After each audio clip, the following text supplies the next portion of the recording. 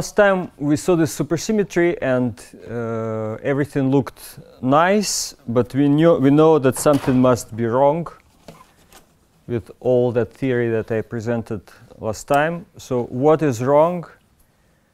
One way is to try to look within what I said last time and try to find some problems. But uh, there is a better way, I think, uh, to attack this problem which is to change the formalism. Uh, the other formalism that is uh, very well known in the theory of disordered systems is the replica, is the method of replicas.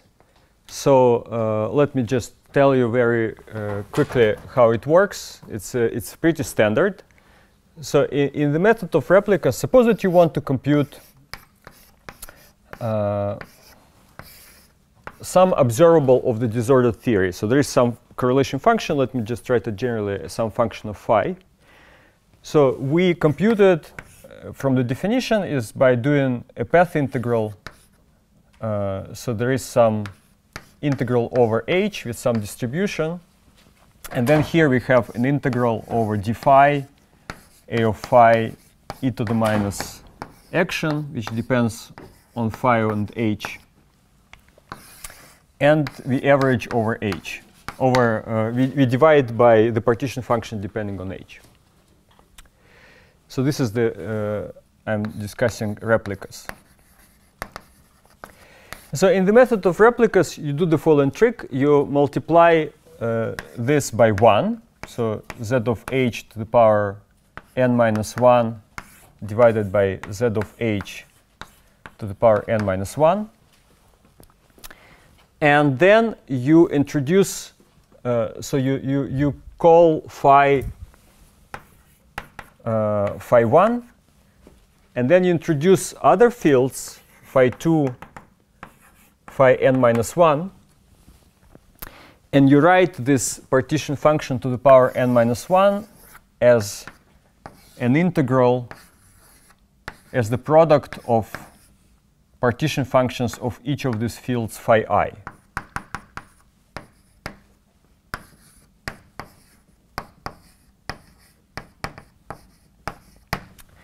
So now we have n fields.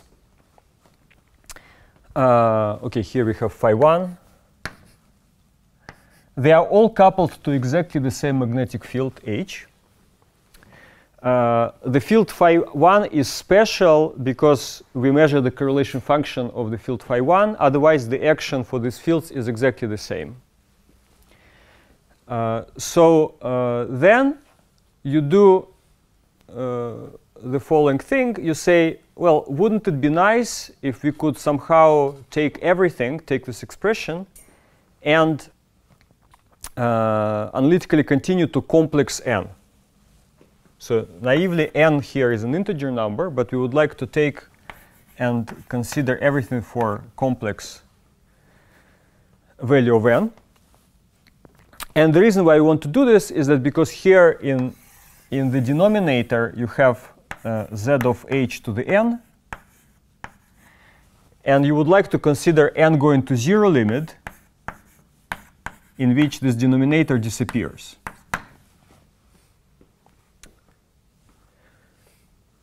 And so in this limit, uh, you have the following formula. So the, the same uh, one point, the same correlation function that I had before becomes a limit as n going to 0 integral over uh, dh p of h.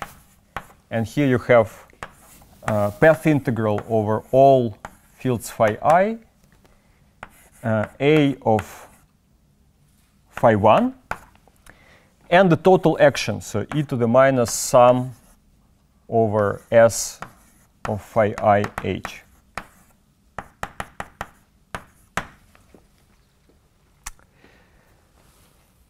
So this is progress. This is progress because we no longer have this annoying denominator z of h. Uh, what do you do next? Well, you look at this total action, and in this total action, the interesting term is uh, the term which involves the magnetic field, and it's the term phi 1 plus phi n to the h. So e to the minus, all the other terms are independent of h. Uh, so let me take here, uh, let me assume that the magnetic field is Gaussian. So we have distribution here minus h squared over 2 delta. So now I have a Gaussian integral over h. And by doing this Gaussian integral, I completely get rid of h. And I get the following formula, which is even nicer.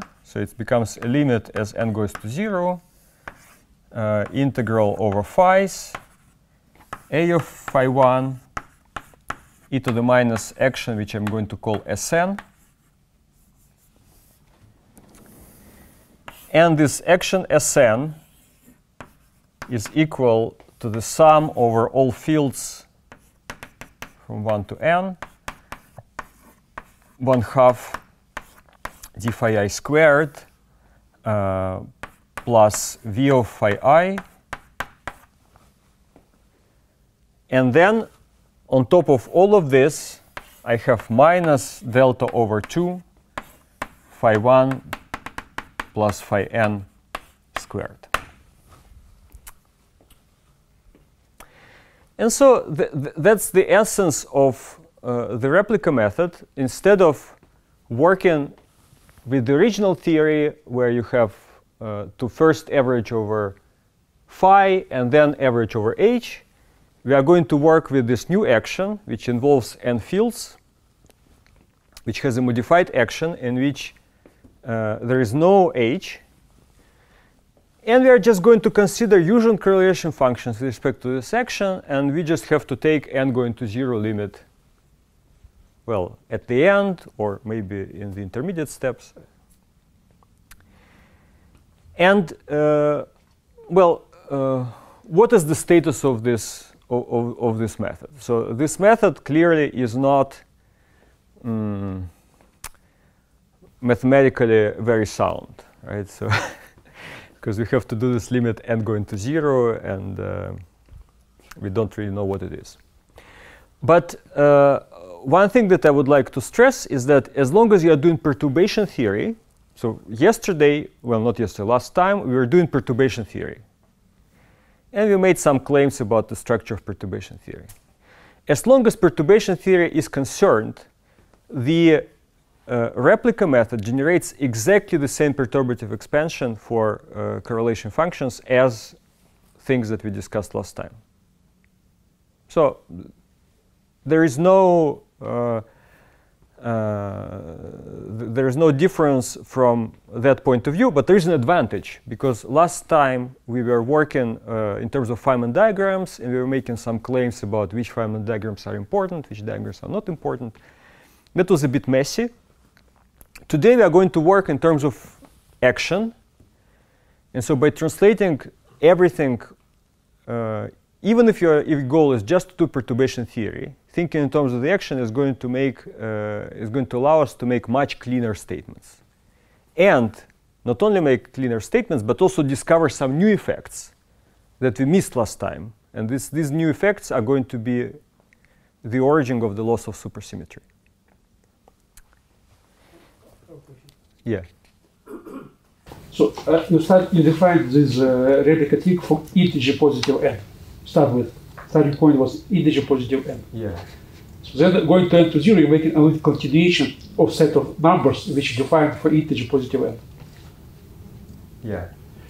So, so this is a subject to the Carlson theorem, right? In general, you ask the question if you know set of values of some function defined for positive integer n, in which case you allow to really continue this function away from this set of numbers. Yeah which amounts to some additional logistic conditions for this function in complex n plane, etc., etc. All these issues are only subtle if you want to go beyond perturbation theory. In perturbation theory, all these functions that you are talking about are going to be some polynomials in n.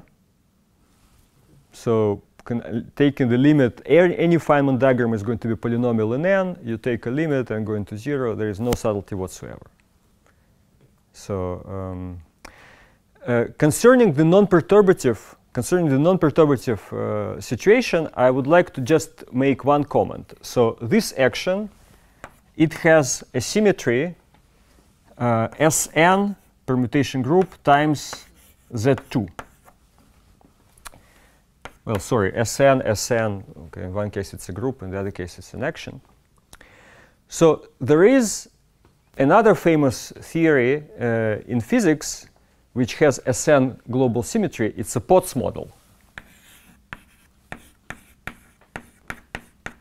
for integer number of states.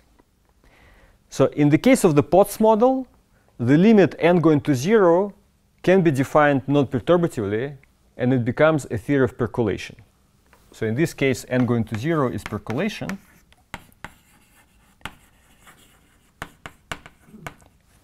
So uh, it's an interesting uh, open question whether there is some percolation picture for the theory of the random field Ising model. And if there is, then perhaps it could be used to make, uh, even for the percolation and going to zero limit, rigorous. But in this case, for Potts model, you're referring to the exact solution. So there is no there is no reference to perturbative expansion whatsoever. You're saying that in, this case, you said that n, n going to no, even before solution, even before solution, you can take Potts model. Even before you solve the Potts model, you can take the Potts model on the lattice and you can reformulate the Potts model on the lattice, not in terms of spins, which of course only makes sense for integer n, but in terms of geometric objects, which are called FK clusters, which carry certain weights, n-dependent weights. But that formulation is non-perturbatively well defined for any n, integer or non-integer.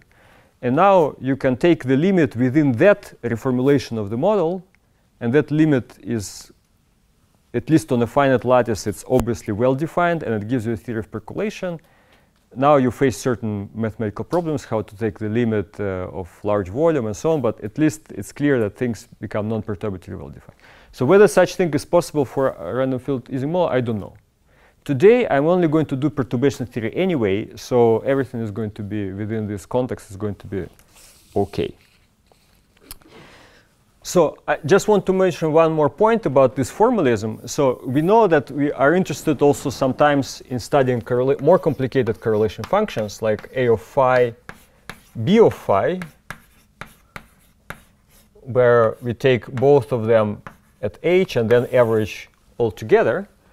I just want to say that these things can also be computed in the replica formalism. They are computed uh, by taking things like A of phi 1 b of phi 2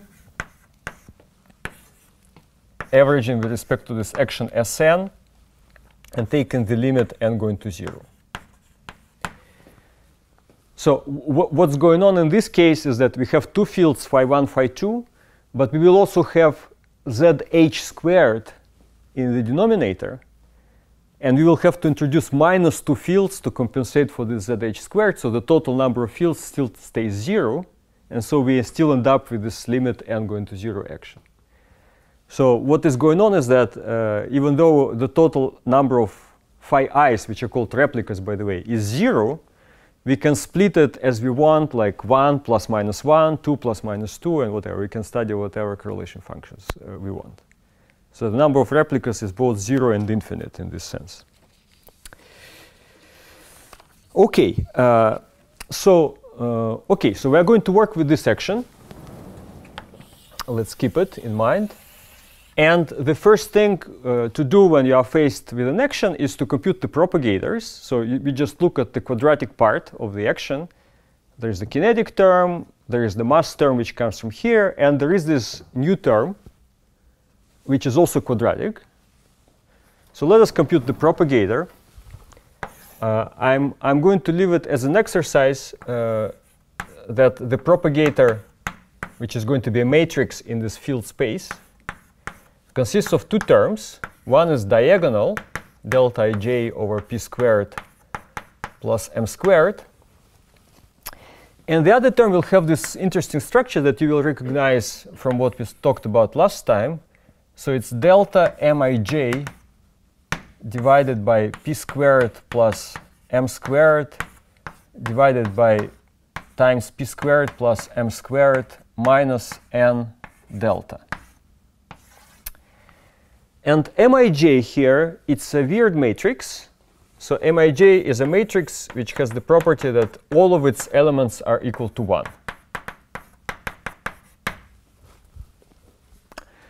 Notice that both of these matrices, Mij and delta ij, are invariant on the permutation of replicas as, as uh, they should be. And so, uh, why is this interesting? Well, because now we can see immediately, uh, we can recover immediately some results that you re re recall from the previous lecture. So, in the previous lecture, we, we said that if we look uh, at the propagator phi phi h average, which in our new formalism, it would be computable as phi 1 phi 1. Well, it becomes, since it's phi 1 phi 1, both of the terms contribute. And so you get, if we consider the limit m squared going to m squared equals 0 and n going to 0, we get 1 over p squared plus delta over p to the fourth. And that's exactly the formula we wrote last time. And if, on the other hand, we, we write phi h, phi h average, then according to this formula that I described just before, this becomes phi 1, phi 2 because we have to take two indices which are not equal. And in that case, uh, the first term doesn't contribute, and we get delta divided by p to the fourth. So these are formulas that we also wrote last time, just as sh to show that it agrees, perturbation theory it agrees. Okay, but now uh, we have um, Given this propagator, we should realize that something is badly wrong uh, with, uh, with our formalism. Maybe not badly wrong is not a good word, but something is, as a, as a person, as a renormalization group person, if you're a renormalization group person, you should realize that something is going to become uh, quite complicated if you start doing the renormalization group theory in this language the problem is that this propagator, even if you go to, to the massless case, m squared equal to 0, even if you go to n going to 0, it's a combination of two different powers of p. What, what does this mean?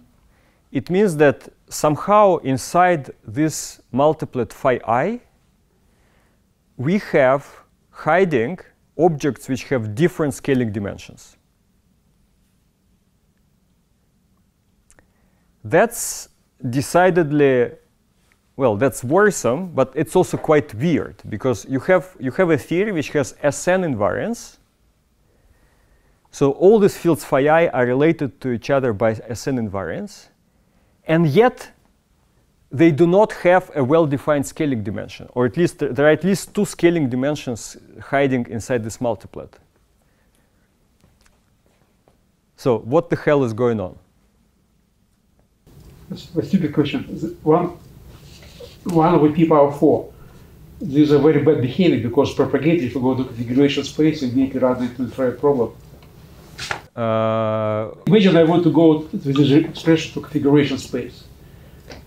So 1 of p square is 1 of x square. Well, we are close to six dimensions. Ah, okay. Sorry. Ah, ah, yeah. Sorry. Uh, it's you know, I know that you like four-dimensional physics. um, so, mm, uh, yeah, so, so the, the, the issue of uh, uh, long-distance behavior is not an issue here, but, uh, but this issue of scaling dimensions is really annoying. And um, this suggests that we should um, make a transformation of field space in order to reveal the, the content the field content of our theory in a way, in such a way that every field will have a well-defined scaling dimension. And so that's what I'm going to describe now. So I'm going to describe a field transformation which uh, was initially found by John Cardy in 1985, which does precisely this job. Yes. Just a basic question. So, so this quartic pole, or or when you when you have finite n with splitting, this Yeah. means that there's a ghost, but it doesn't matter because it, the theory is non-unitary anyway. So, um, You mean that there is this minus n delta? yeah. So the residue there, it's negative. Yeah, it just means that the theory with n go- with n not equal to zero is not going to be well defined in the full range of distances. And in particular, it also means that if you want to have a critical theory, you know, sometimes in the theory of disordered systems, when you do this replica trick, you, are manage, you manage to find a fixed point for any n. And then it's very nice because you, like, for every n you have a fixed point, for every n you compute critical exponents, and then you take a limit n going to zero within CFTs. That's nice, but that's not what we are going to be able to do here. So here, actually, the fixed point will exist only for n going to zero, for n equal to zero. And the theory with n not zero is like is not even is not critical, is either not critical or not well defined. So yeah, so let me go back to this Cardy field transform. So I don't actually know how John Cardy found his field transform. He has a, very short paper where he doesn't motivate it very well. So I'm, I'm going to try to retrofit a motivation on this. So uh, uh, the idea is, is this. Let us recall that uh, the Parisi-Sourlas action which we had last time, the quadratic part of the Parisi-Sourlas action had the following form: d phi d omega minus delta over 2 omega squared plus uh, d psi bar d psi. Uh, so that's the quadratic part of the Parisi-Sourlas action, and we have here a quadratic part of the Sn action. So this is quadratic. So Sn quadratic part is much simpler like d phi i squared plus m, uh, well, let me set mass to zero. So it's just this minus delta over 2 sum phi i squared.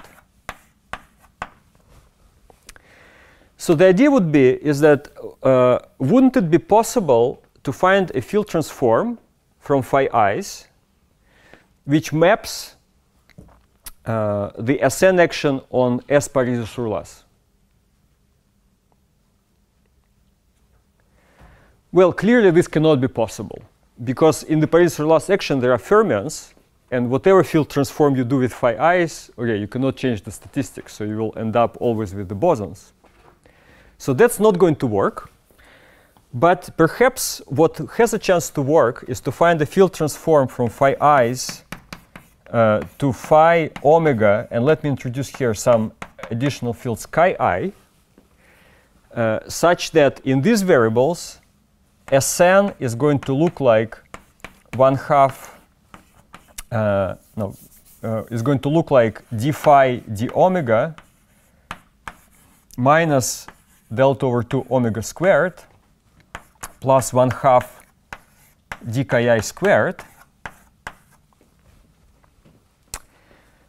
Uh, suppose that you manage to do that. That is already looks more likely. Then the total number of chi i's is going to be minus 2 because we somehow got two fields phi omega and the total number of fields was 0. So it means they're going to be minus 2 chi i's. And then uh, we, we will argue that minus 2 scalars are equivalent to having two fermions. So that's how we are going to get the Parisi-Sourlas action. And so now this becomes a well-defined uh, program. You know, it's a well-defined mathematical exercise. Find such a field transformation, and you are almost guaranteed to succeed. Because recall, uh, you know, we we derived last time this Parisi-Sourlas action, and okay, this Parisi-Sourlas action was kind of not. Uh, there was something fishy with it uh, uh, in small d, but at least at d close to six, it should be okay.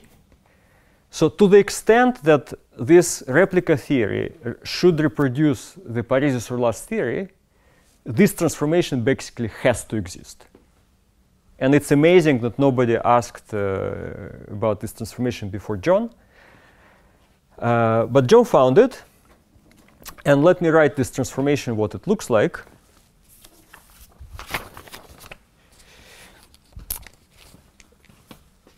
So phi 1 is equal curly phi plus omega over 2.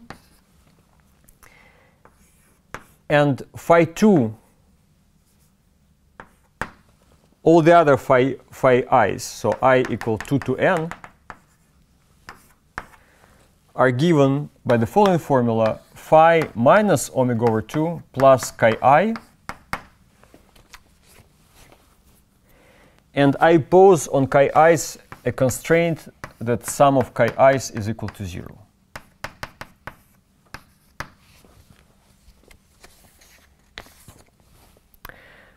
So the reason I do it is that because if I didn't impose this constraint, then there would be n minus 1 chi i's. But after I impose the constraint, it gives me effectively n minus 2 fields, which means that in the limit n going to 0, I have minus 2 fields. That's, that's what I want. And uh, well, um, now it's a matter of an easy exercise to show that uh, this action maps to this action under this transformation. I'm not going to do this exercise in full, but I'm going to do some particular cases. So first of all, notice that if I take a sum of all phi i's from uh, 1 to n, what is this going to be? So first of all, every phi i has a phi in it. So it's going to be n times phi. Uh, now omega is going to come with the coefficient omega over 2 times 1 from the first term uh, plus minus 1 from the second term times n minus 1.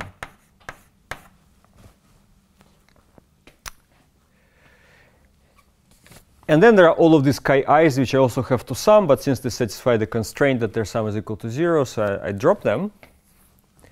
Now let me look at this expression. So n phi goes to 0 in the n going to 0 limit.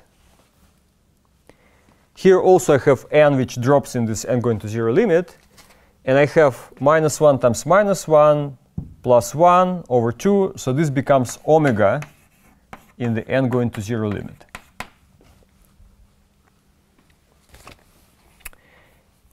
And so what this shows is that this uh, term minus delta over 2 sum phi i squared maps on this minus delta over 2 omega squared, just like I wrote here.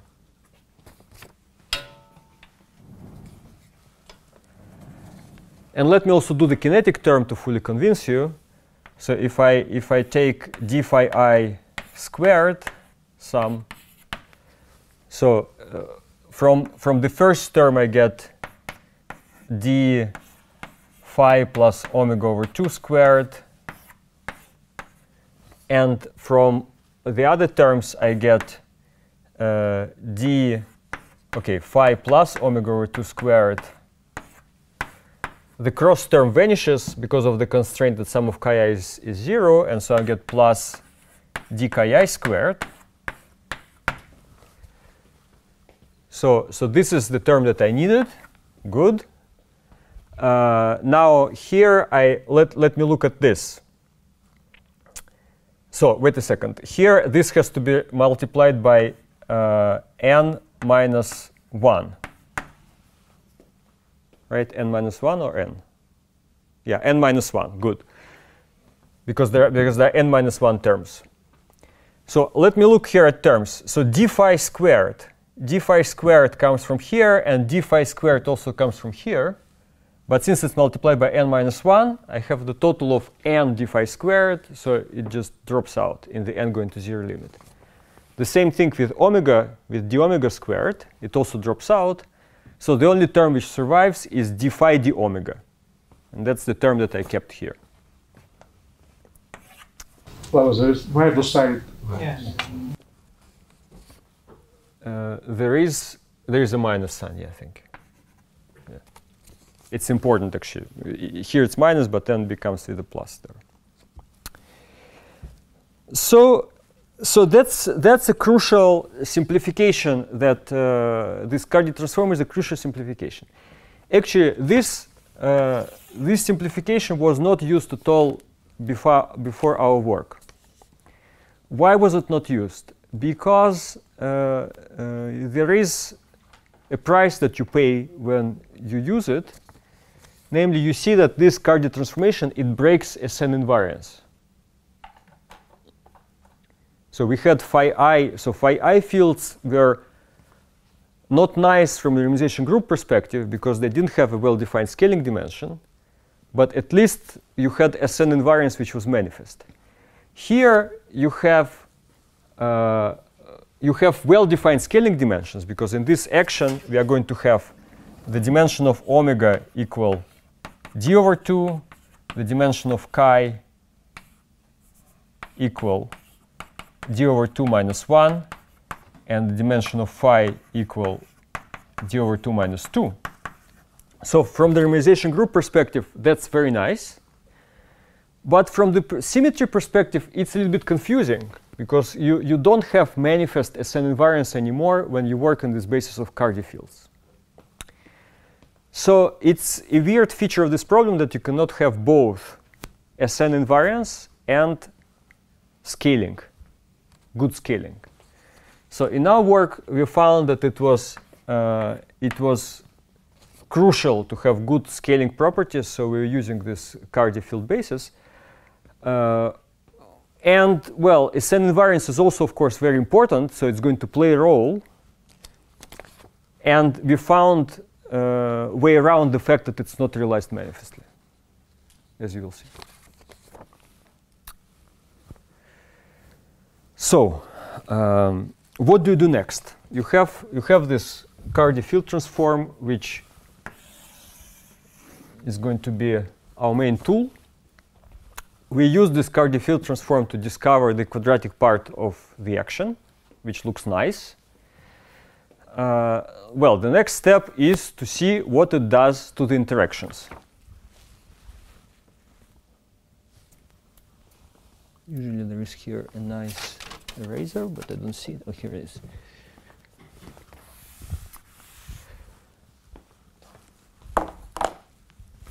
Well, we have this interaction term, sum v of phi i.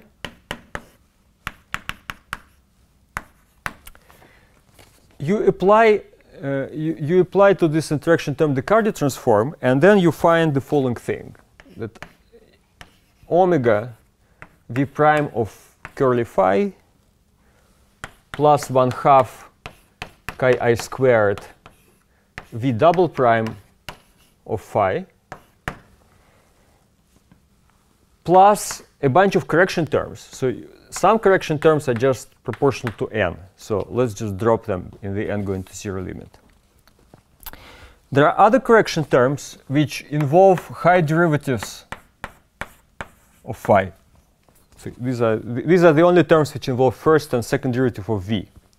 When you take high derivatives of v, you get some correction terms involving chi cube, chi squared omega, or omega cube.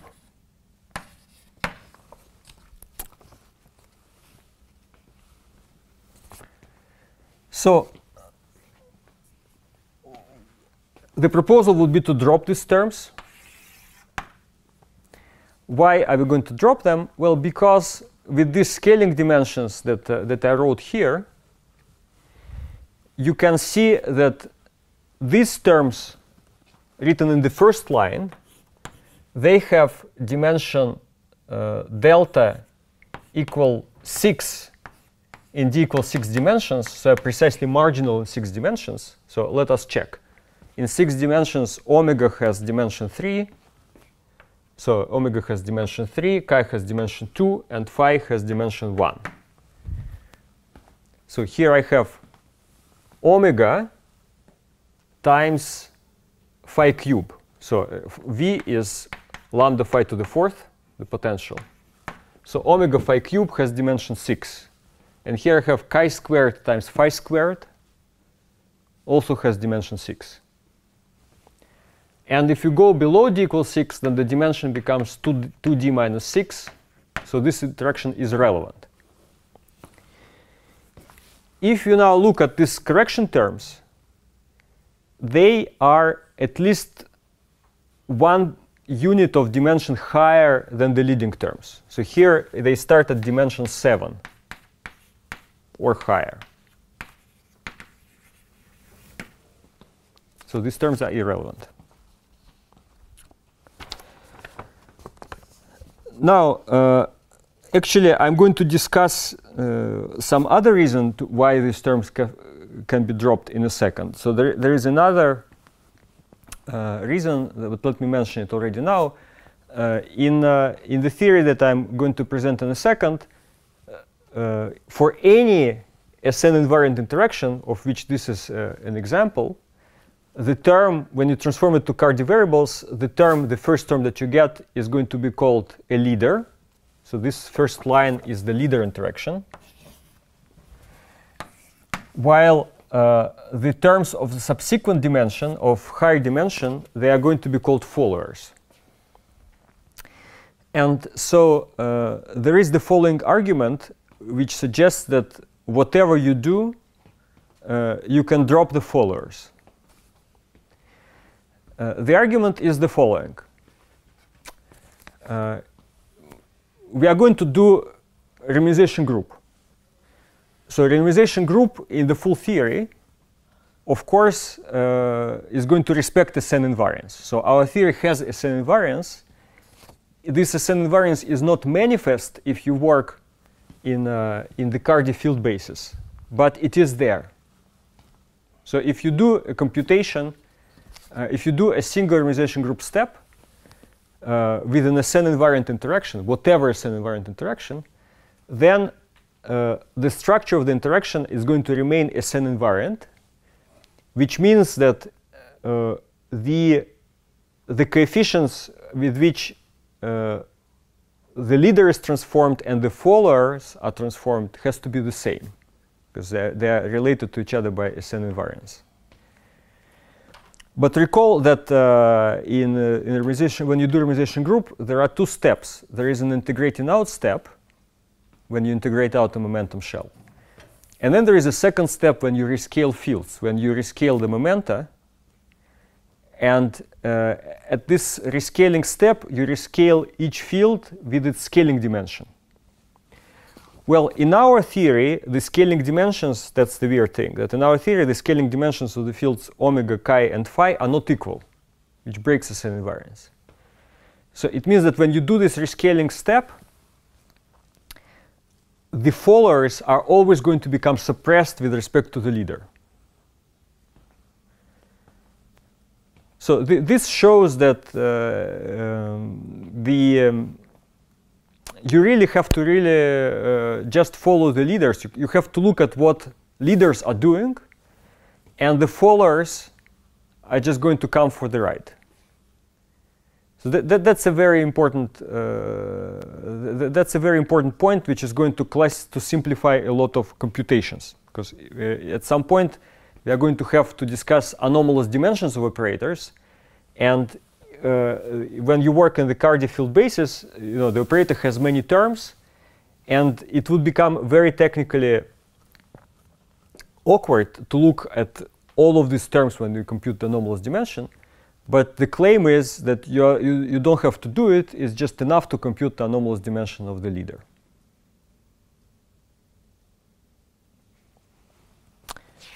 Okay. Um, so what I just explained that these uh, terms can be dropped. And after you drop these terms, what do we get? Let me look at, uh, at the full action. So the action at the quadratic level is this. Now the action, uh, the interaction that I have to add to this action is this. And now if you remember uh, the action, the full Parisi-Sourlas action that I wrote last time in the SUSY variables, you will see that if I take this action, which consists of these two pieces, let me like call this part one, and this is part two.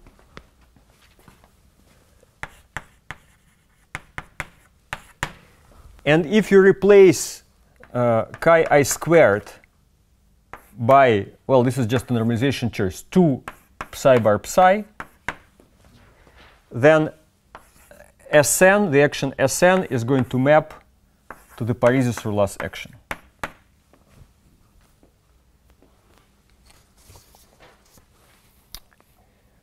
So what we just did is that we gave an independent proof of the emergence of the Parisi-Sourlas supersymmetry in, in this theory, which doesn't use stochastic partial differential equations, but just uses manipulations of the action.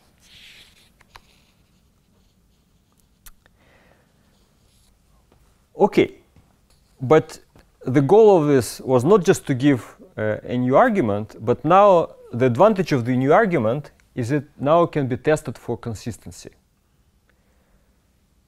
What's consistency in this context? Consistency means uh, that we haven't dropped any terms uh, without due reason. So due reason, we, we are only allowed to drop terms which are irrelevant. Now, so far, which terms did we drop so far? We dropped these terms here in, in the third line. So we dropped these terms for two reasons. Well, first reason is that they were irrelevant, and second reason that they were followers, as I explained. So uh, these terms, we dropped them for a good reason. They could be dropped. There's no problem without them. Now, what goes wrong? Well, it turns out that in doing this argument, we tacitly dropped some terms. Well, in fact, we dropped them because we were not smart enough to write them in the first place. So there are some terms that we haven't even written, but we should, we should have written. And it is those terms that, that, that cause, uh, cause the trouble. So what are those terms? Uh, now let us uh, let us go back uh, to the, our starting point. Our starting point was this action Sn, and this action had Sn uh, times Z2 invariance. Now uh, suppose that you do uh, group theory on this action. We know that uh, what uh, controls the structure renormalization group flow is the symmetry of the theory, is the symmetry of the action. So if uh, there are some terms in the action that have this symmetry Sn times Z2, but we haven't written them, well, they're going to be generated by, by, uh, by the renormalization group flow. So what I, what I want to say is that there's the obvious point that when you do renormalization group, you are supposed to make sure that you actually wrote all terms in the action which are consistent with the, with the symmetry. If not, then okay, then, then, then you can be badly, badly wrong. So what I'm trying to say is that we should, we should look at all possible, we should examine at all possible interactions respecting this symmetry Sn times Z2. So this is obvious. This is obvious just from renormalization group perspective. But this can also be seen from microscopic perspective. So this was actually the, the first people I think who observed this was uh, Brezin uh, and De Dominicis.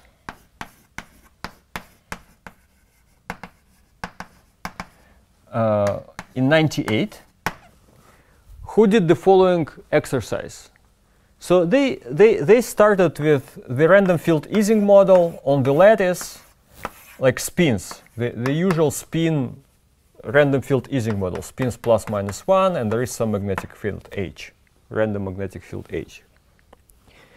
And so then they decided, okay, instead of just saying, okay, when you replace a lattice model by by field theory, you just write down uh, you just write down uh, the simplest action, like Landau-Ginzburg action.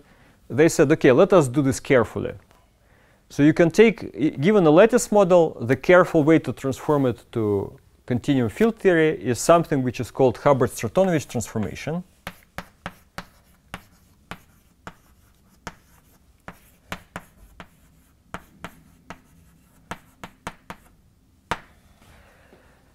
And when they did this Hubbard-Stratonovich transformation on the lattice, uh, then they saw, uh, they worked in the, in the replica formalism, that actually uh, on top of this simple action Sn that I wrote here, they generated a whole bunch of, of additional Sn across Z2 invariant interactions.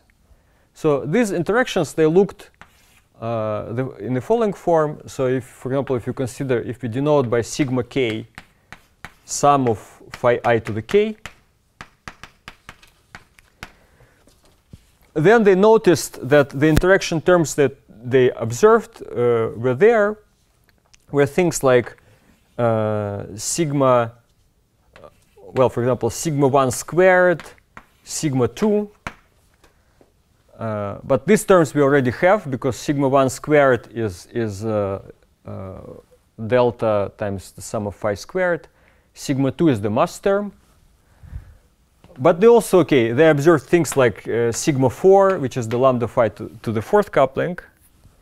But they also observed things like sigma 1, sigma 3, sigma 2 squared, and all the other things, all the other products of sigmas which were consistent with Sn times Z2 invariants, they also observed uh, them appearing in the microscopic action.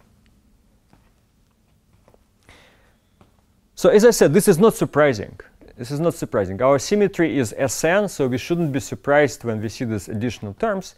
But I think it's uh, kind of uh, nice that one can do it very explicitly. And we will come back, I think, to this Brezin-de computation uh, next Monday when I'm going to be discussing open problems. It's going to allow us to make some useful points. And so what does this tell us? Well, uh, we th these interactions respecting Sn times Z2 invariants, I'm going to call them singlets.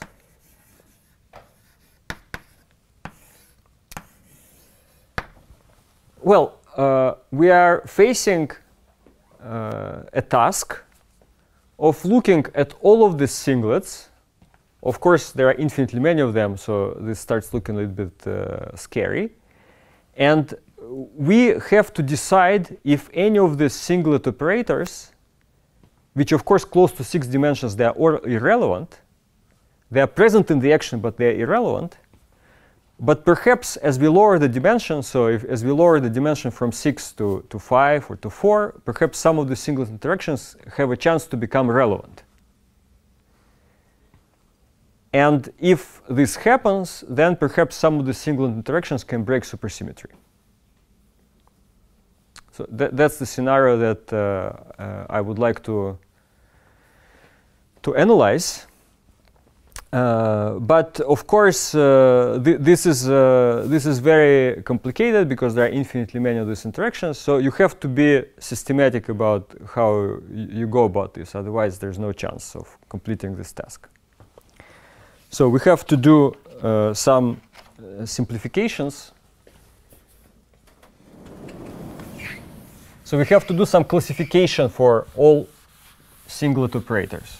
Yeah. So, so, so just to, to understand, yeah. so it's yeah. really going from a lattice to a field which generate more interaction, or what, what is the point? Because I mean, before they didn't appear, these these guys. Yeah, before I didn't write them. I didn't write them because I just kind of wrote the simplest thing.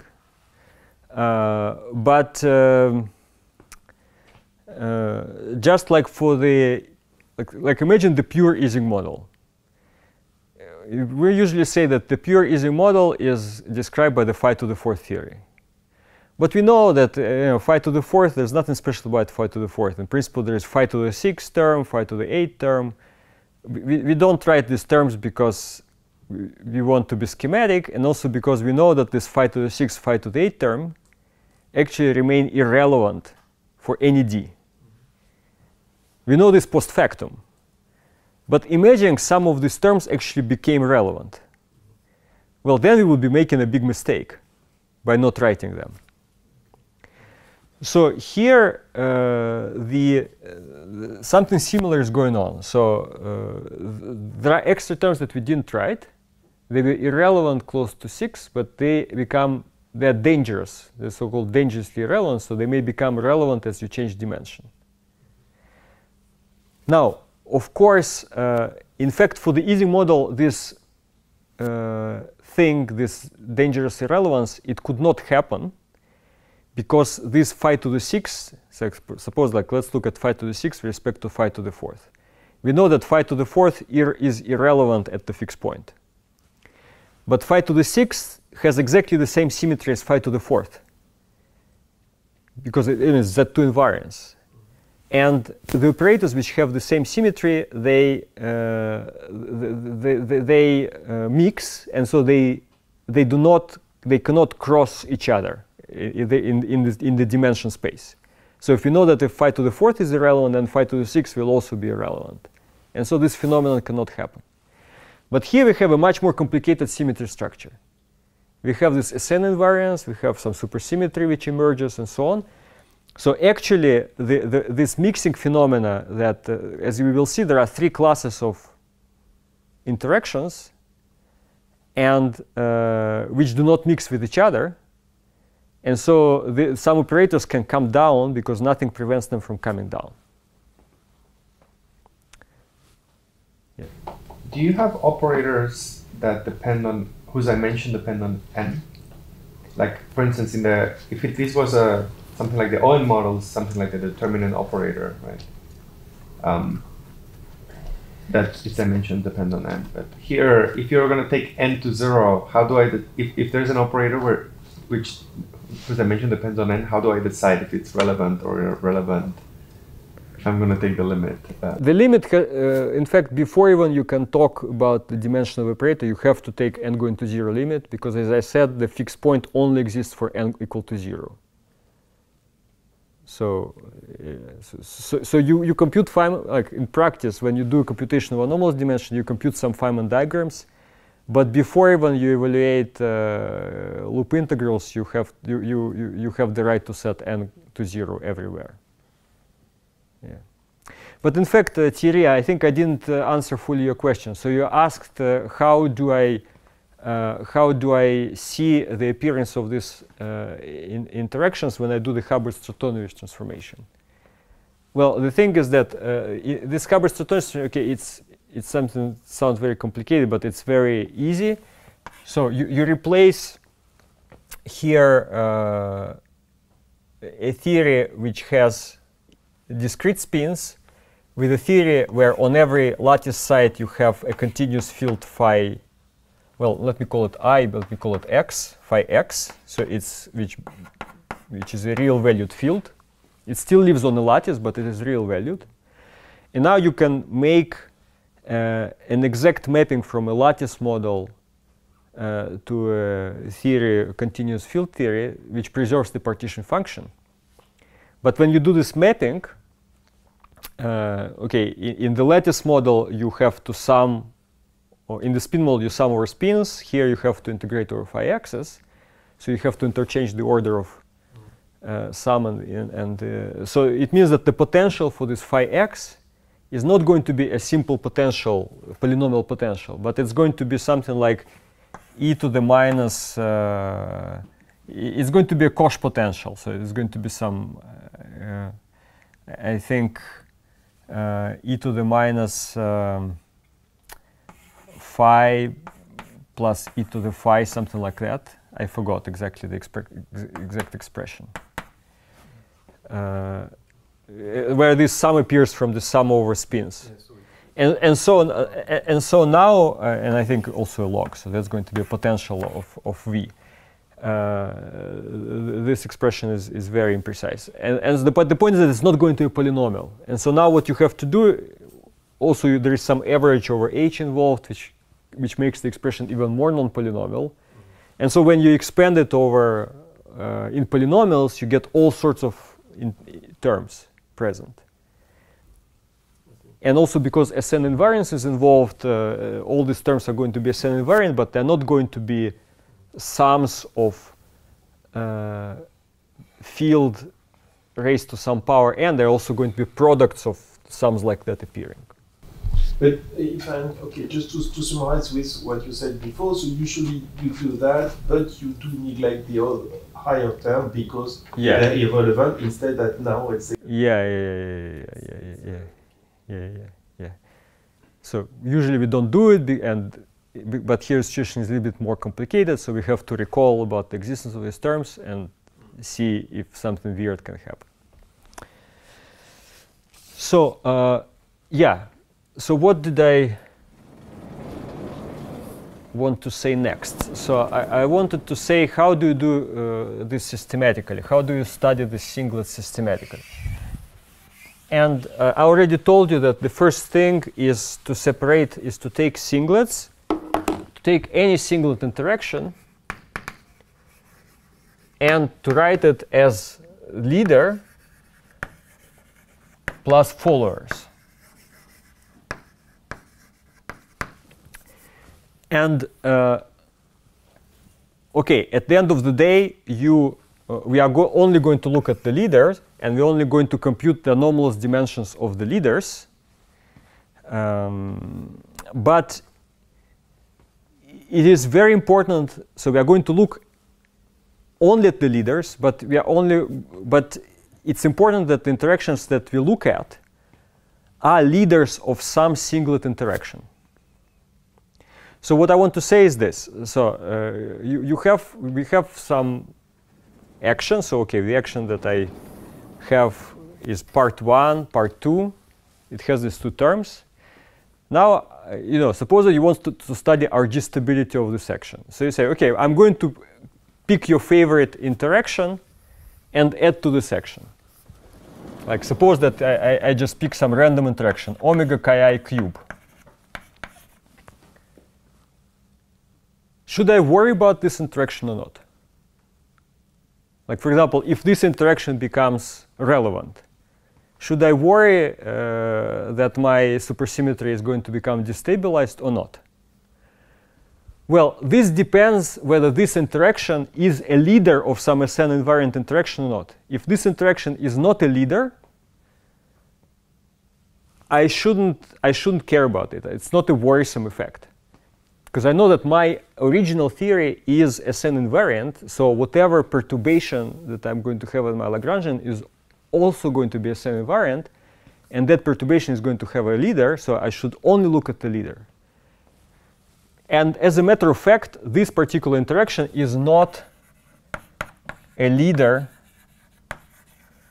of any singlet. So there, there, are, there are some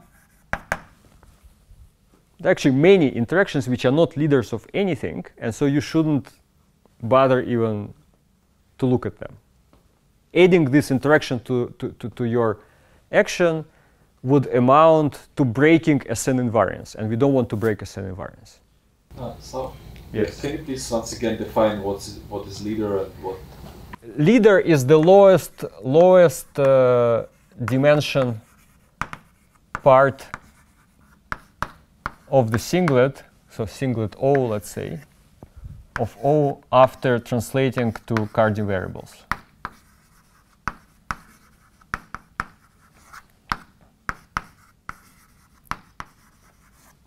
So let me give an example. So I already gave it actually. So suppose that I take uh, sigma 4.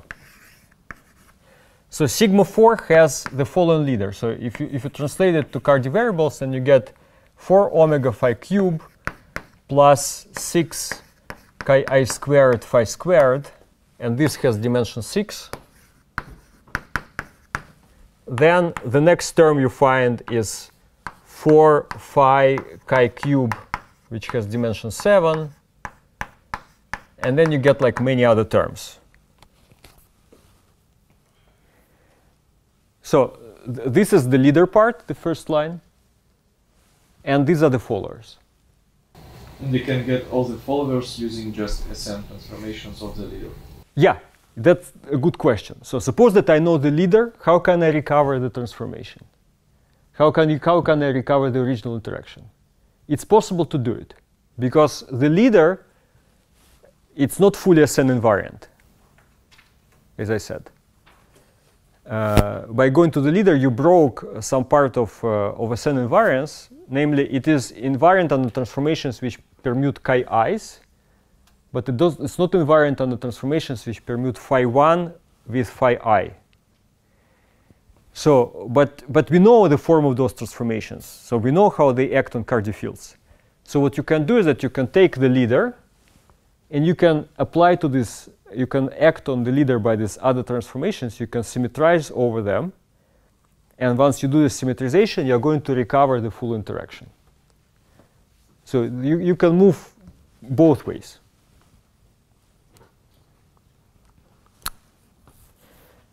So, um, and I have some uh, exercises in the notes later on that I, will post, which uh, do this. It sounds like you are trying to realize this symmetry nonlinearly, and you are keeping the Stalin, the leading Stalin part. Uh, well, non-linearly, um, this is suggestive, but I'm not sure I would use this terminology because it's a discrete symmetry. So um, the symmetry is not broken. That's an important point. So this SN invariance, even though I, uh, I, I, made this uh, transformation from phi i's to, to Cardy fields, which do not have the same dimension, SN invariance is not spontaneously broken. So if SN invariance were spontaneously broken, then my full propagator uh, would I would see it in the full propagator that uh, of the phi i fields that something is wrong. But the full propagator is SN invariant. So it's a weird thing that even though I have a multiplet of fields which have unequal scaling dimension, which are these Cardy fields, I'm able to realize uh, exact uh, SN invariance not broken in the n going to zero limit. So that, that's very, very weird. I think the first time in my practice that I encounter something like that. This must have something to do with the weird feature of the n going to zero limit, but it's true. Uh, imagine I want to take a two-point correlation function. Yes. So before you explain the difference between those fields, that if I go to original fields, phi i's, yes. the two-point correlation function had two pieces. One was one over p4, one yeah. over p, square. Yeah. So now if I, I start with this ansatz, imagine I don't know the coefficient front of those operators. But yeah, I, I, I know, I, I know, yeah, yeah. I, yeah. I just look for two-point correlation function of sigma 4 with itself. Of sigma 4 with itself, yes. yes. It will be given by the product of those propagators which you displayed previously. Yes. Each propagator will have one part will be one of p square, one part of p fourth. Yes. So rational separation is to say that the first line will reproduce the terms which has minimal power one of Yes, yes, that's true. That's the true. second line will give you contribution will, will, will give square suppressed. Yeah, yeah, yeah, yeah, yeah, yeah. That's true. That's true. Yeah. Okay, so that was the first step, very important step, separation uh, singlets into leaders and followers, and realization that we are allowed to look at the leaders. But that's not yet the full, uh, the full job of classification. Now we have to classify the leaders. And we, as I mentioned to Thierry, uh, there has to be some symmetry structure here which will allow different leaders not to mix. So that in the sense that mixing means that they, when you vary the space dimension, if the operators mix, then their uh, scaling dimension as a, as a function of d cannot intersect. So this is the scaling dimension. Uh, and uh, because they, they correspond to scaling dimensions, they correspond to some eigenvalues of renormalization group, uh, linearized, linearized renormalization group transformation. And if the eigenvalues belong to the same symmetry sector, then the eigenvalues of a matrix with a continuously dependent parameter are going to repel. So that, that is the case if the two operators belong to the same symmetry sector. But we are suspecting that there are going to be some operators becoming relevant, so they have to go down, so they have to cross other eigenvalues. So this can only happen if there are different symmetry sectors in the game. So what are the symmetry sectors? So it turns out that there are three classes of leaders that, uh, that uh, uh, you have to consider. So let me describe them. The first class are leaders that we call SUSY writable.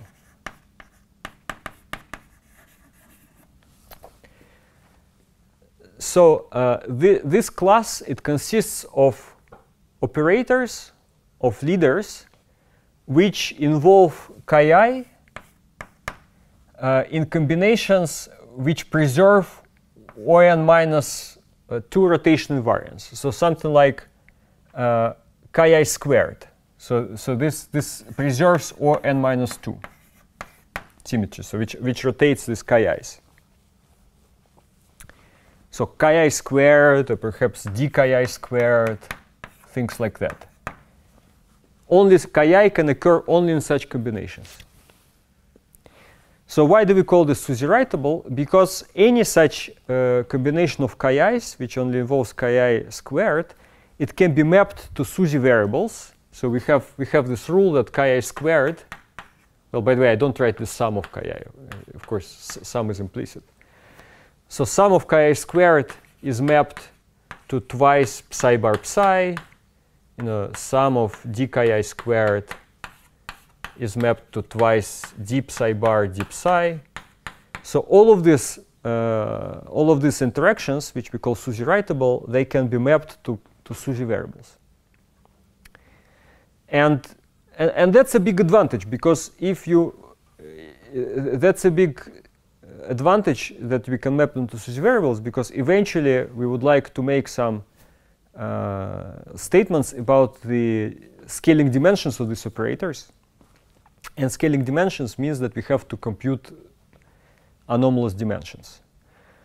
Well, anomalous dimensions, uh, computations of anomalous dimensions is a, is a well understood uh, but uh, a little bit tedious task in, in perturbative quantum field theory. You have to evaluate uh, many Feynman diagrams and you are lazy, you don't want to evaluate more Feynman diagrams than is necessary. Now, for these SUSY writable operators, it turns out that you, your job is easy because for SUSY writable operators, we can use the statement of dimensional reduction, which says that the dimensions, scaling dimensions of operators in the supersymmetric theory are equal to the scaling dimensions of operators in the non-supersymmetric theory in in two lower dimensions.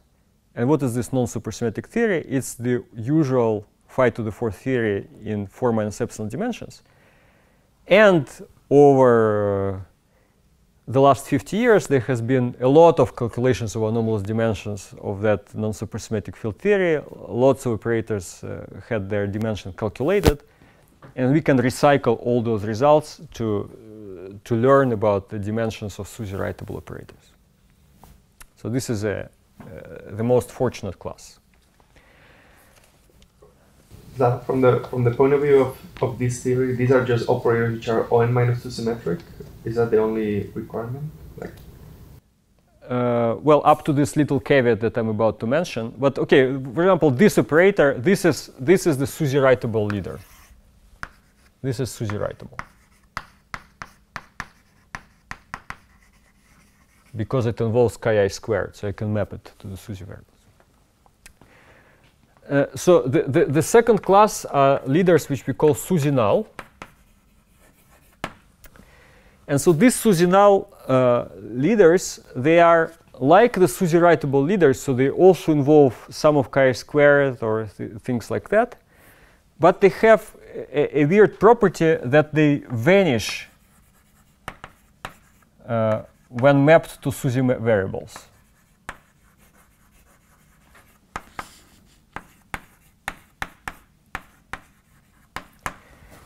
And why can they vanish? Well, because we have the condition that psi squared equals psi bar squared equals to 0. So these are Grassmann fields. They satisfy this constraint. And so, for example, the, the, there is this operator, sum chi squared uh, squared. So this maps to twice psi bar psi squared, and this is 0. So that, that, that's, that's a, a SUSY null operator. But is it a leader? I said that we shouldn't just bother looking at operators which are not leaders. So when I write, I tell you that this is a SUSY null operator, uh, you should ask me, okay, but, but it's a leader of whom? Where's the singlet of which this is a leader?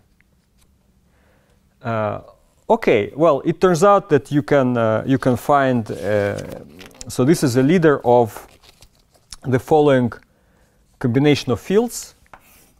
So if you write sigma 1, sigma 2 squared minus 4 thirds sigma 1, sigma 3, this interesting linear combination, then this is uh, chi i squared squared plus something of higher dimension, okay, minus 4 thirds omega chi cube plus dot dot dot. So th this is the leader. Now you can say, okay, what's going on? Uh, actually, what's going on here is that if you looked at these two operators, sigma 2 squared and sigma 1, sigma 3 separately, you would discover that each one of them has a SUSY writable leader, like, like sigma 4, you know, something similar, some, some linear combination like that, which would be similar. So a generic operator will always have a SUSY writable leader, as a matter of fact. But now it turns out that these two operators, even though they are not equal to each other, they, uh, they, they, their SUSY writable leaders coincide. And so when you take the difference, the SUSY writable part cancels, and you get a SUSY null part here, which is chi squared squared. So it's a little bit weird. And also, how the hell, you know, what is so special about this linear combination that I th that I'm writing here? I'm taking it out of the box, out of the hat. Uh, I am going to, in a second, I'm going to explain wh why why this combination is, how one could guess this linear combination a priori.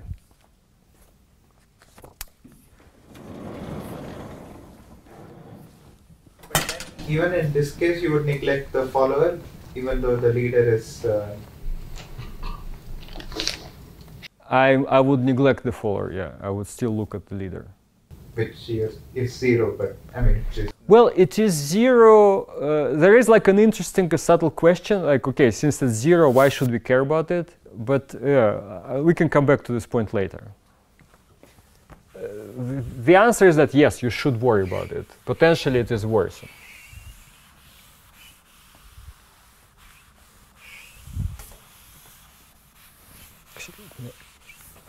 But, but Slava, is it true when you were describing this map between uh, Parisi-Sourlas in your action? You said that there was argument for n, go, n goes to zero, you map minus two colors into two fermions. Yeah. Uh, this the same logic. So this term chi square square, it's now modular O of my n plus two corrections. Let's say n, n here some parameter. So n goes to zero, you have map allowing you to replace colors with fermion. But if n not zero, small but not zero. Then, strictly speaking, this map does not hold. So which means that uh, this operator which you wrote, from point of view of the Fermion correspondence, is of order O of n, small n. Is it true? Well, um, uh, basically, uh, the discussion again boils down to the to the question: Why should we care about these operators? Uh, we, uh, I, I, would like to discuss this, but let me first introduce the third class, because the reason why we care about that operator is because of the third class of operators that exists. If only the first two existed, then we, we perhaps we wouldn't have to care about it. So this third class are called non-SUSY writable.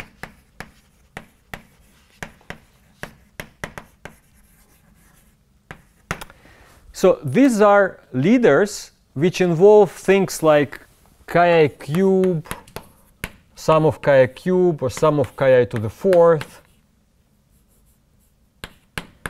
So uh, they are invariant only under Sn minus 1 subgroup which permutes chi's, but not under the full, not under On minus 2. In fact, I mean, th this is the natural, this is the natural uh, symmetry group that you can expect from the leader Sn minus 1. Uh, and the, the, reason why, uh, so the, uh, why these other leaders are invariant under larger symmetry is just, uh, this larger symmetry is emergent. It's, um, it's accidental. It's accidental invariance. Well, Sn minus 1 is the is the the natural subgroup. So you could you could naively expect that there should be a ton of these non-SUSY writable leaders because that's kind of the, the, smallest symmetry, and typically you would expect that any interaction should be only invariant under the symmetry. But it turns out that it's, uh, it's not so obvious because there are indeed many operators that you can write which are invariant under the symmetry. But are there any leader operators? There any leader interactions which are invariant under this, uh, which are non-SUSY writable? That's, that's a priori not obvious. And uh, let me write this operator, uh, which we call fk, uh, which is given by this formula. Sum from uh, uh, 1 to n over i 1 to over j, phi i minus phi j to the k. So, so this operator was considered first by Feldman in 2000, uh, long before we, we, we, had our ideas about leaders and classification of leaders. Uh, but this operator comes out handy for our present discussion. So why is this an interesting operator? Well, because let us take, let us look at this expression and let us look at the Cardy transformation. So the interesting feature of the Cardy formula is that phi, the curly phi, enters with the same coefficient 1 into all phi fields. So it's, it's going to cancel when you take these differences phi i minus phi j, then this Cardy, then, then this Cardy field component phi just cancels. And so what are we going to get? We are going to get the leading term, which is going to be sum over uh, i from 2 to n and j from 2 to n. For these terms, even omega cancels, because here omega enters with the same coefficient. So you get chi i minus chi j square uh, to the power k and this is definitely has a chance to be non-SUSY writable. And then you get some correction term plus 2 omega uh, plus 2 sum over uh, j from 2 to n omega minus chi j to the k omega over 2. Uh, th th this comes from i equal 1 and j equal and j arbitrary. Uh, so, okay, here we have omega, but omega has a higher dimension than chi. So if you look at the leading part of this operator, it's going to be made just of chi's. And so uh, if you do the calculation, it turns out that uh, F4, if you look at F4, then the leading part of F4 is the SUSY null operator, so it's chi i squared squared. While the leading part of F6 is a non-SUSY writable operator. So it's uh, it's something like it's something like chi i cube squared minus 3 halves chi i squared chi i to the fourth.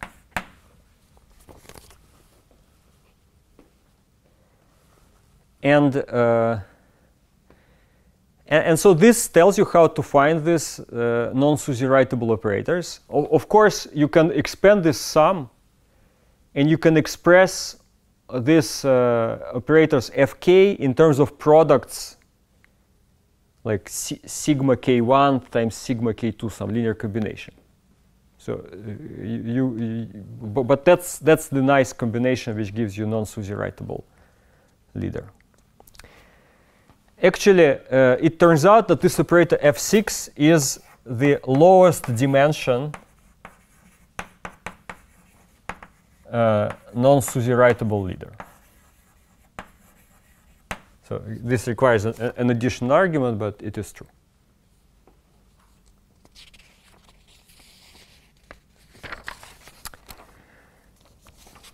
Okay, uh, so uh, that, that's the end of, uh, of the leader classification. What, uh, what happens next? Well, uh, we, we, we used um, uh, so at, at this point we have to finally sit down and compute something. Okay, we have to compute the anomalous dimensions. and when we do this computation, we are going to take advantage of the following fact. So what does it mean uh, to compute uh, to compute anomalous dimensions? I didn't speak much about uh, about, fixed points in the first lectures of my course, but what is uh, what is really happening? Okay, what happens is that the SUSY theory it has this coupling lambda, right? It has a quartic coupling lambda. So uh, first, the first thing you have to do is that you have to go to the fixed point of the SUSY theory. So there's going to be a fixed point. And the way you find the fixed point is standard. You compute the beta function for this coupling lambda, which tells you how the coupling varies with the, uh, with the scale. And the beta function has a term, a linear term in lambda because lambda is relevant. Uh, and then there is a, uh, there is a quadratic term in lambda plus Harvey terms. And so it tells you that uh, there is a fixed point which is found from the equation beta of lambda star equals 0, and this fixed point coupling is epsilon, is order epsilon. So this is a, a, a, standard computation in perturbative quantum field theory. Okay, we have, we do have a very uh, simple perturbative quantum field theory with just a bunch of fields. Uh, you can do everything very explicitly. Moreover, our theory is supersymmetric and it is related by dimensional reduction to the usual phi to the fourth theory. So in fact, this one loop coefficients, like for example this coefficient here, is very simply related to the to, to the one loop coefficient in the usual phi to the fourth theory. So th that's this is a simple step, but you have to do it. Now uh, we found the fixed point we have to compute on top of this fixed point, we have to compute scaling dimensions of additional terms because we, we have all of these uh, leader interactions, right? Uh, infinitely many of them, but we are not going to go to look at infinitely many. We are going to focus on some uh, low dimension part of this leader space, and we have to compute their anomalous dimensions. So uh, uh, kind of uh, intuitively speaking, what we are going to do is that we are going to put on top of the SUSY theory, we are adding uh, this, uh, all of these leader interactions with infinitesimal coefficients and anomalous dimensions, uh, scaling dimensions of these operators. It means we have to determine how these coefficients rescale when we do a renormalization group step. So we have to add them with some coupling constants, which are infinitesimal. And uh, there are uh, three classes of leaders. So there are SUSY writable leaders, which we add with their coefficients. Uh, then there are uh, SUSY null leaders. And the non-SUSY writable leaders. I'm just being schematic.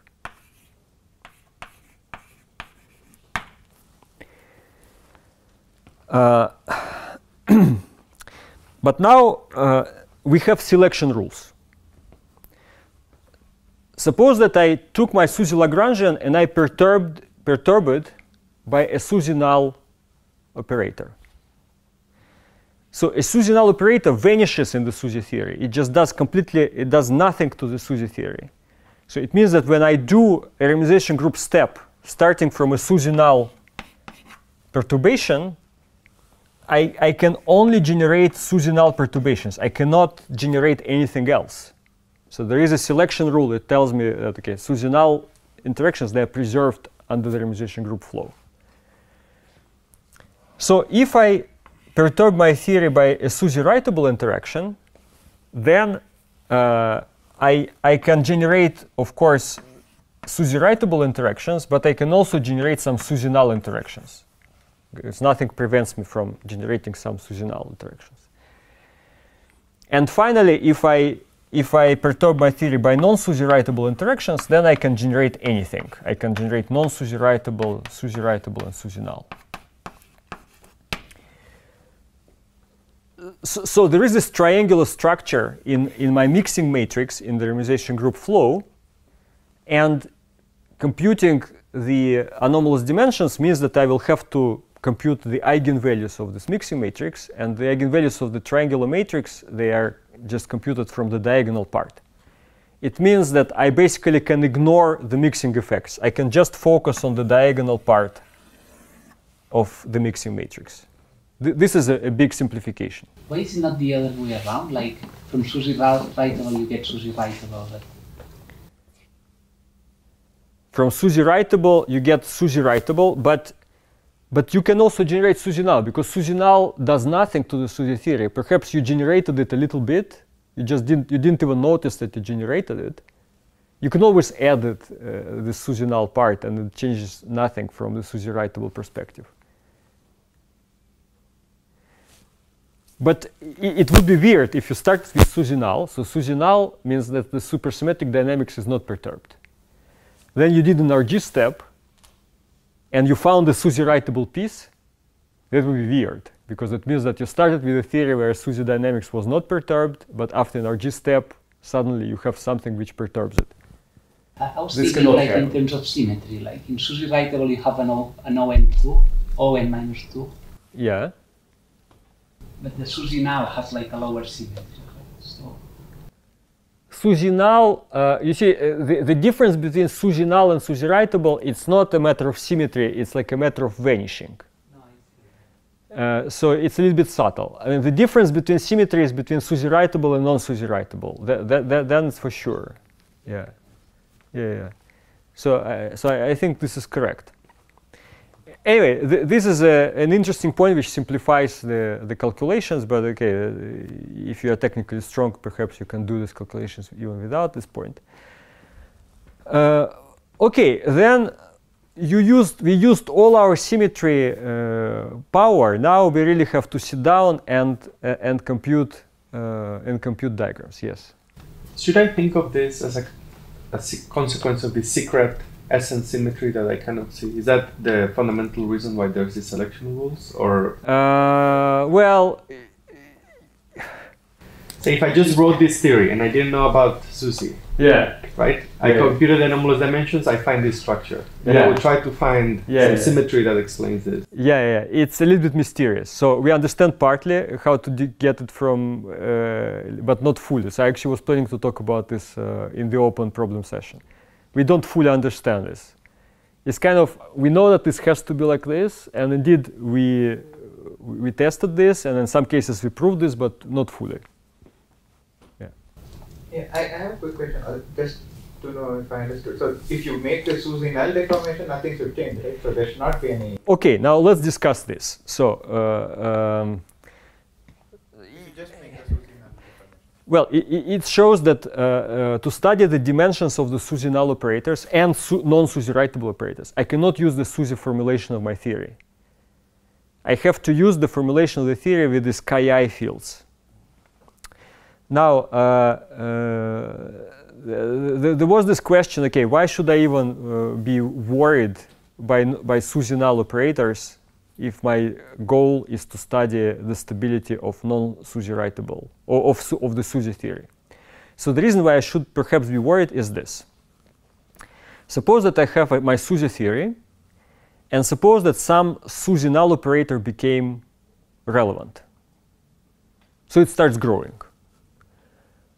It grows, grows, grows, grows. Okay, my SUSY correlators don't feel it, everything is nice, it looks like SUSY is not broken. But the SUSY null operator doesn't backreact on, on, on the SUSY theory, but it backreacts on the non-SUSY writable operators. It may backreact on the non-SUSY writable operators. Suppose that all non-SUSY writable operators are irrelevant in the SUSY theory. But now my SUSY, no, SUSY null operator became huge. It can change completely the dimensions of non-SUSY writable operators. I don't know what happens. So for this reason, we, view uh, the uh, we view the uh, the loss. We, view the fact that uh, SUSY null operator becomes relevant as a potentially dangerous destabilizing effect because SUSY null can backreact on writable, and writable can then backreact on SUSY. But then it's exactly this phenomenon that you mentioned, you have n divided by n, n goes to zero. Uh, because Frapodius is non. It's it, it's it's simpler. It's simpler than that. I can write correlation functions involving non-SUSY writable and SUSY null operators, which don't vanish in the n going to zero limit. These are like smooth correlation functions. I can write write them down maybe later. So. In the SUSY sector, it would be n going to zero limit and everything would decouple. But there are some correlation functions which are not captured by the SUSY sector. But within SUSY sector, those operators, the null operators, are really vanishing for n going to zero. What is true is that the correlation function of a SUSY null operator and an arbitrary number of SUSY writable operators is zero. But if you consider the correlation function when there is a SUSY, when there are SUSY operators, one SUSY null operator and one non-SUSY writable operator, then it's different from zero. And uh, so, so it just basically means that if you consider SUSY null operators, you, you have to also, in order to do something nasty, they have to ask for help of non-SUSY writable operators. Yeah.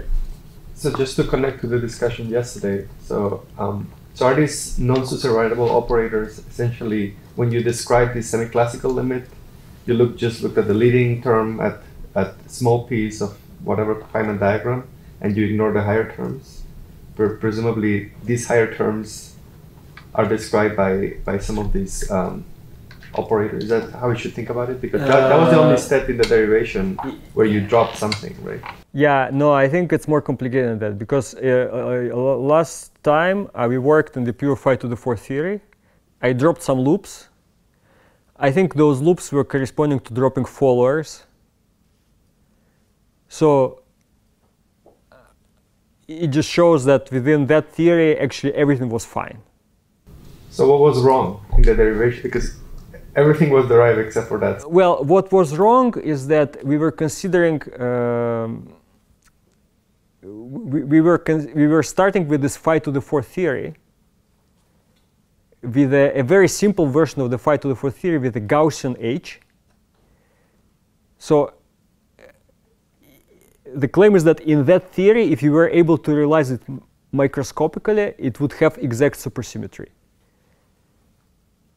But we are not able to realize that theory microscopically. Microscopically, we have some lattice model. You know, we can even vary H. H doesn't have to be Gaussian. With some lattice structure. So the, the claim is that in any in any such microscopic realization, there are going to be some new effects, which are going to be captured by by, by this uh, non-SUSY writable and perhaps SUSY interactions, and it is those things that, that destabilize them all. That, that kind of comes post factum from analyzing. I guess what confuses me is that in this in the, this derivation of the replica, you also assume that H was Gaussian, right? But I guess that that's how you derive that action. But then you're saying I assumed that H was Gaussian, but then I put on top all these uh, other operators. Okay. But if you take that thing in the box to be the microscopic theory, a lattice version of this field theory, then you don't have the uh, um, non-SUSY writable. If you if you just do this, but this is already a replicated action. So in on the lattice theory. I mean the version of that before the reference with H coupling to phi, Gaussian H coupling to phi. Th then there, there should be no effect. If you, if you took really a random field Gaussian model in a, in a continuum theory, then th this suggests that there should be no on. Yeah, th then probably there should be no effect. So supersymmetry will be broken by the followers, but they're guaranteed to be less relevant. Unless something weird happens, because this is not really a continuum theory. It's an interesting point. Let, let, let us discuss this offline. I'm not 100% sure. I don't want to make, since I'm being recorded, I don't want to say something uh, wrong. But that could be potentially another interesting test of this whole theory. So uh, I'm actually almost done uh, because I don't want to present, of course, the technical details about computing Feynman diagrams, even though it's all completely standard. And um, uh, I could say perhaps, uh, uh, how many mathematicians are there in the room? Thierry?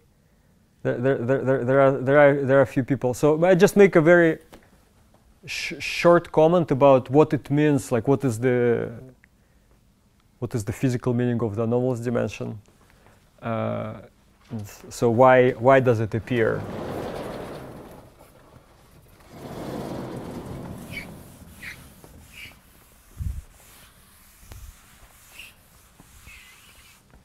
So um,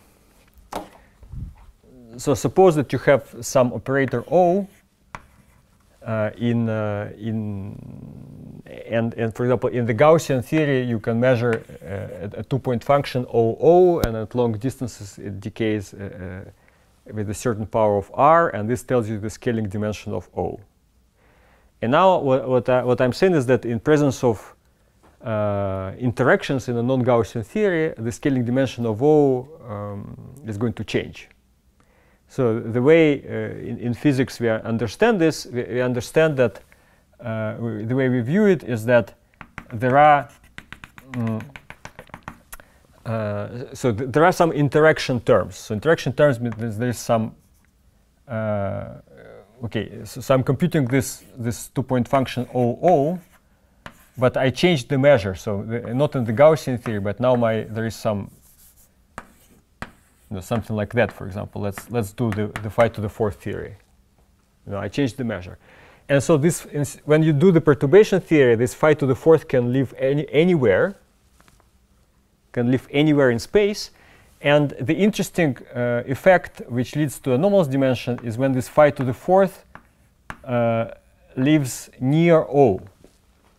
So there's going to be some region of integration where this phi to the fourth lives, lives near O. And then when you look on this configuration of O sitting at the center of the small sphere and phi to the fourth nearby integrated over the sphere, when you look at it from far away, this is going to look like O, but with some rescaling factor.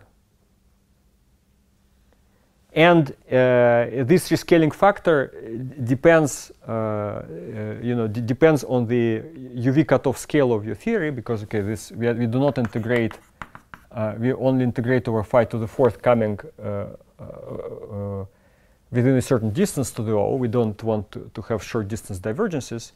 And this rescaling factor, then when you change the the microscopic scale of the theory by rescaling the lattice, say, or something like that, it, it amounts to saying that the operator O acquired a new term in its scaling dimension.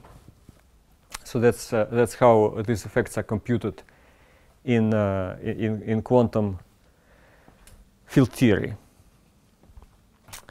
Uh, so, but of course, I'm not going to, uh, to, to, to, to, tell you how these uh, computations are done. Uh, perhaps I should only mention that if you look if you look at the phi to the fourth theory, in 4 minus epsilon dimensions, then these anomalous dimensions, uh, so the, the, the, operator phi, uh, so the, the scaling dimension of operator phi is, is in the Gaussian theory is d minus 2 over 2. But then you compute some corrections in epsilon to the series And in phi to the fourth theory, these corrections are known to very, very high order, like epsilon to the 8 by now.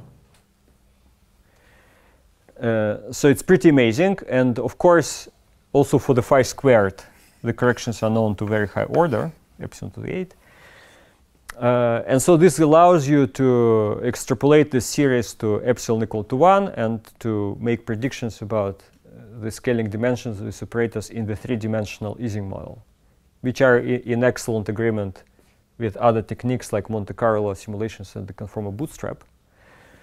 But of course, we are not going uh, to go to epsilon to the 8 because our theory is, is uh, uh, more complicated than phi to the fourth. We have more fields, more Feynman diagrams to consider, also uh, more operators. So we, in our work, we only went to the order epsilon squared. And what did we discover? So uh, the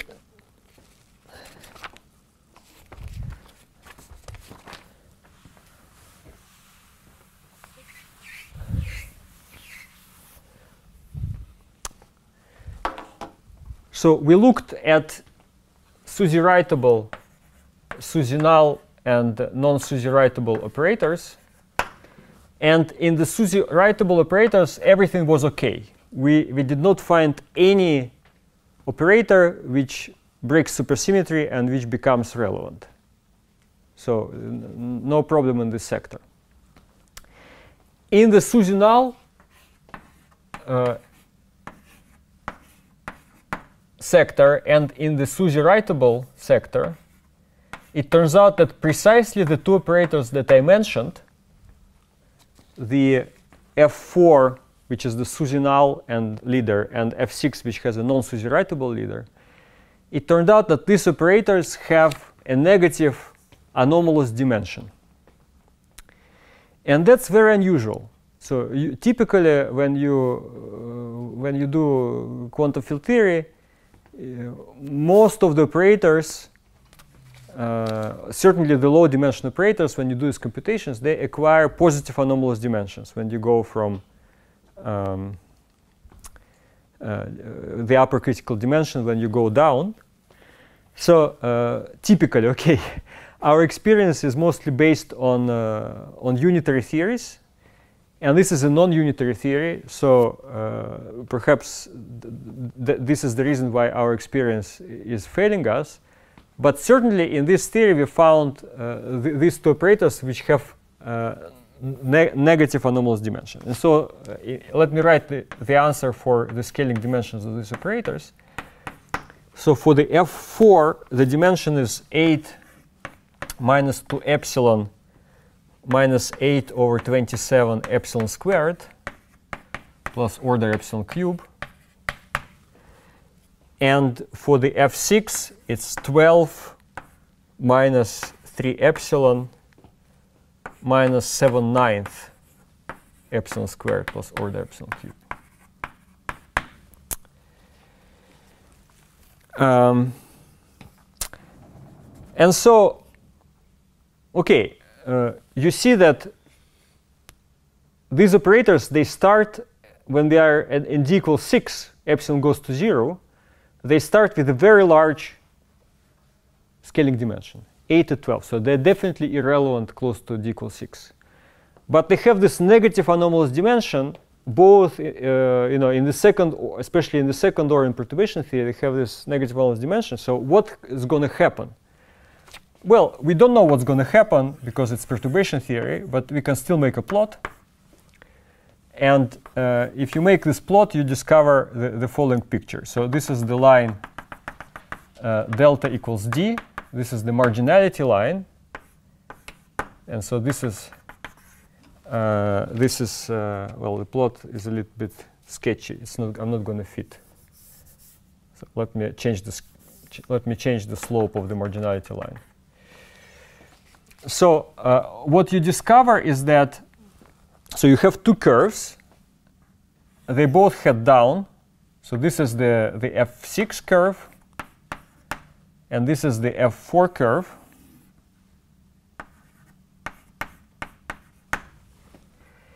And they cross they cross the if you just use these formulas without doing anything, then uh, they cross the marginality between d equal 4 and 5.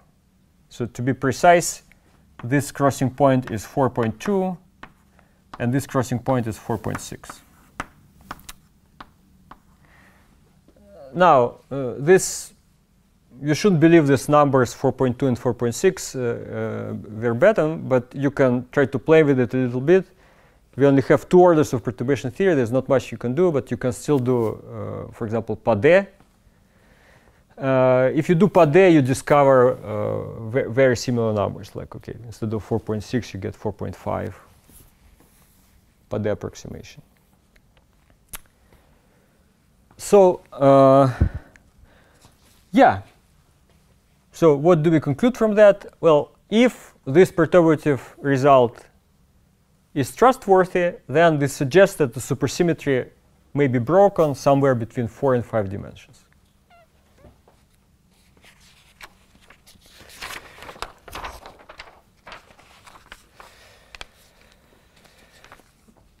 Um,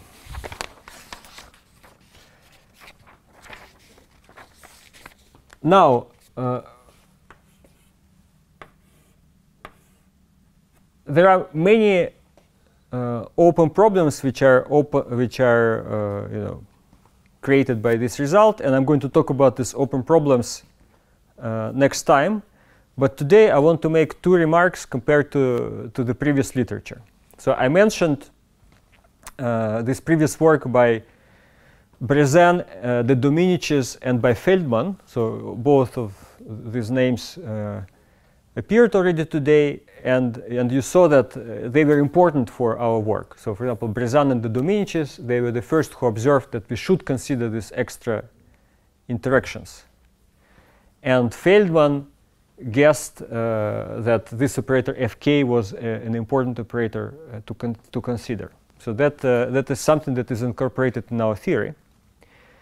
But on the other hand, perhaps you remember that uh, in my first lecture I mentioned that Brezin, Dominicis, and also Feldman, they led uh, to the conclusion that supersymmetry is going to be lost for any d smaller than 6, which is definitely not what we are claiming. We are claiming that supersymmetry is going to be, uh, is going to be lost between delta d equal 4 and 5.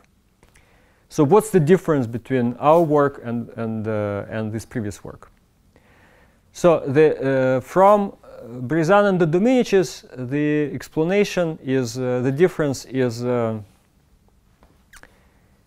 is very is uh, is kind of uh, not very not very complicated. So Brezin and De Dominicis did not work in in the Cardy field basis. They worked in the phi i field basis, and they um, misjudged the scaling dimensions of their interactions. So what they, uh, what it looked to them was as if in our theory there were some additional interactions of this type that we discussed, which were also marginal close to d equals 6. And then of course if you have additional marginal operators, then you have to add them to the beta function, you have to reconsider all the RG flow, and then uh, weird things can happen.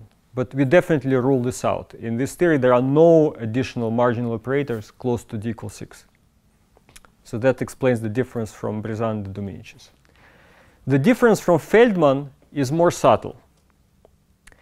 So Feldman was uh, uh, an extremely careful calculator, and uh, he didn't work in the Cardy basis. He worked in the i basis, and working in the i basis, he actually computed the dimension of f6 operator correctly. And he computed the dimension of fk operator also correctly. That, that's, that's actually an impressive, that's an impressive task because, uh, you know,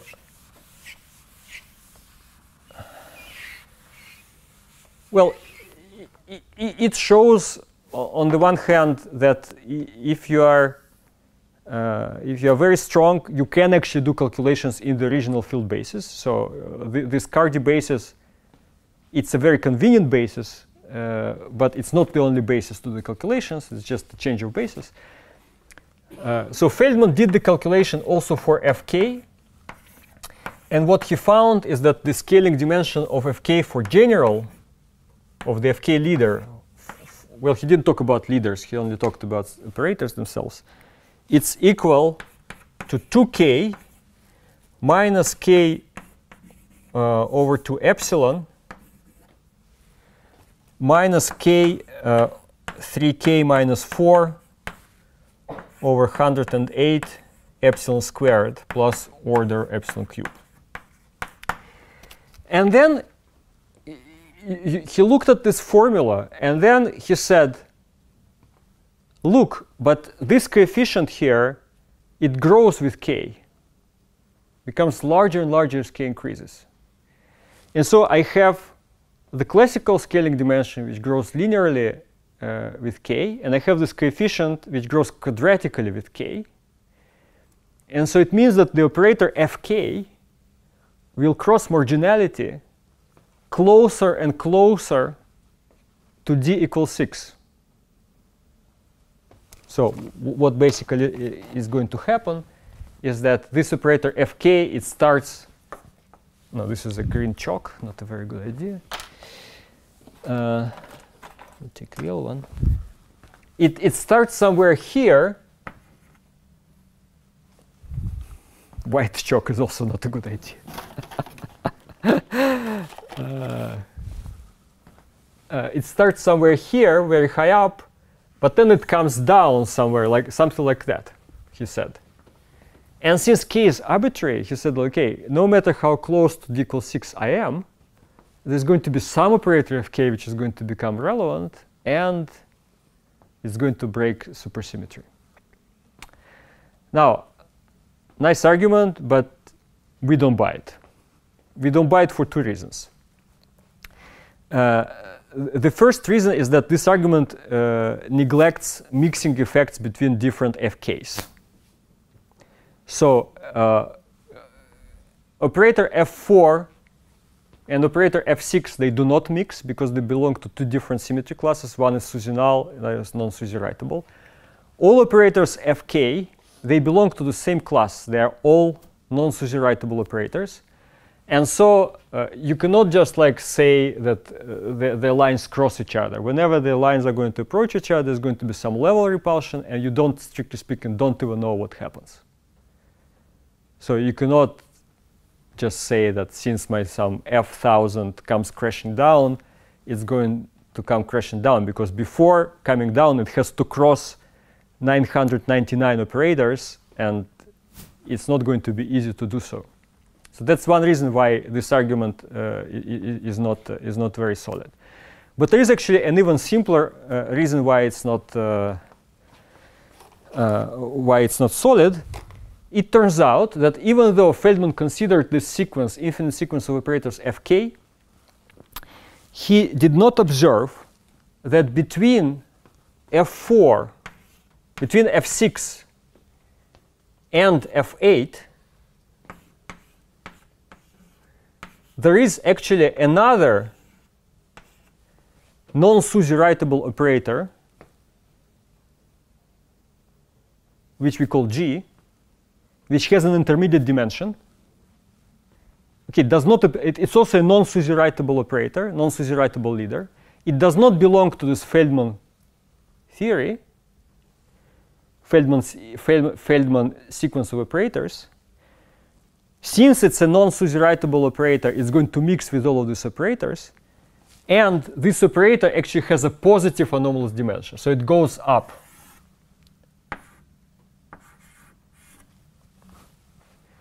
And so this, since this operator goes up and f6 goes down, you know, it's going to repel all operators which are above it.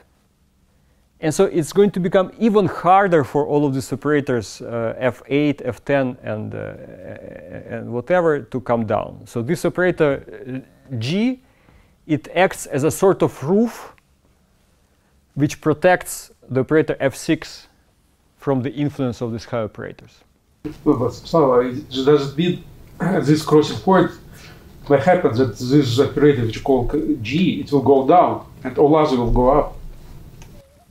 Well, we don't know what's going to happen, but you know, the more operators there are there which have to cross, because the, the, the crossing is going to happen in strongly interacting theory, so we don't know, you know, we, we don't really know what's going to happen. But this, this picture does not exclude the possibility that this operator G will actually his dimension. It does not exclude, but in my opinion, it makes it less likely than Feldman speculated it is. Because he did not even consider the existence of this operator G which, which has a positive dimension. So it's, it's an important, it's an important uh, feature. So, uh, okay, so I presented the evidence for, uh, for yeah. Um, could it also be that this series, um, somehow it's k times epsilon, which has to be small rather than epsilon, and you can't, uh, I seem to remember something like discussion like that in the ON sigma model that people took some operators, high operators, and argued they became more and more relevant, and then. Yes, yes. So this is an additional subtlety. So SK become large. So operators which include many fields. Uh, the, uh, the, there is an extra parameter. Uh, there's a, so we now have a small parameter epsilon, but we also have a large parameter k. And so uh, it becomes harder and harder to make conclusions about the dimension of, of, uh, of this operator on a fixed order perturbation theory, you would have, strictly speaking, to resum all of these k epsilon effects, and this has not been done.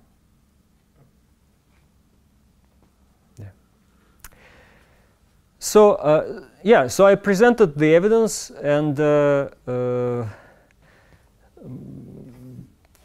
next time my plan is to talk about uh, how all this can be tested and uh, how a scenario can be tested, what are the predictions, and what are the open problems that uh, all this uh, that all this creates. So I think next time is going to be more revealing discussion, and I, I, hope to present several topics, and maybe you will help me to judge which are the more promising or less promising directions. Thank you.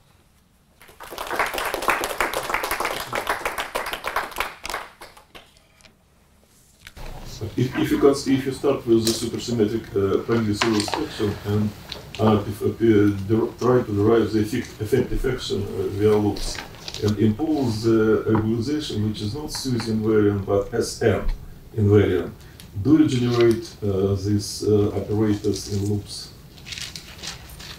It's a very important question.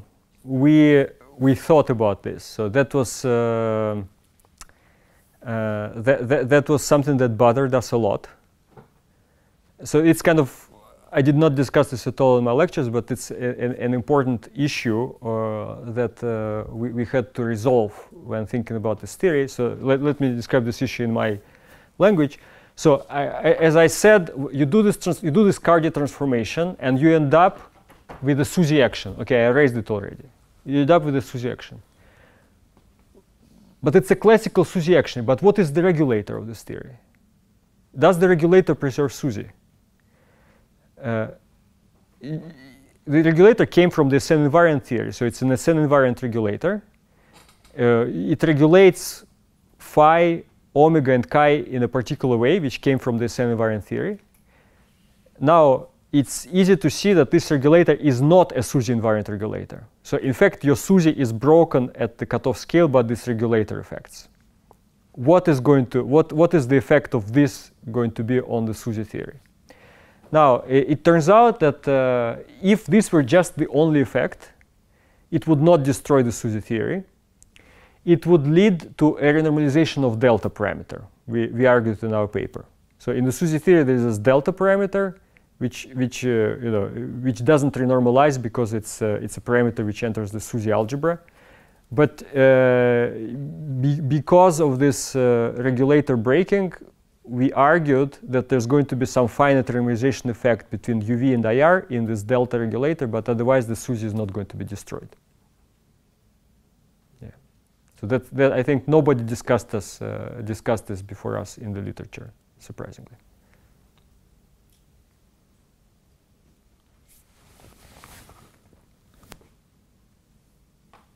Well, you have a view which of these F4, F6 becomes relevant first, or it could be Uh, well, according to this prediction, f4 becomes relevant first, but also f6 is a more dangerous guy because it, when f6 becomes relevant, like things immediately become bad. While when f4 becomes relevant, it like starts influencing everyone else. So, but surprisingly, they become relevant very close to each other. So we don't know. Be nice to push a couple more orders. Yeah. Well, if there are no more questions, then see you on Monday, those who